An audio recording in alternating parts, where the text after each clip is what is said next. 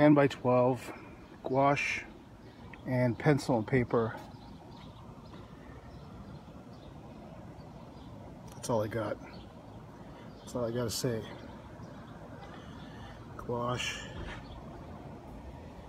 pencil and paper, crazy little squiggly things, little weird lines, little weird whatnots, doodads. What have you you go.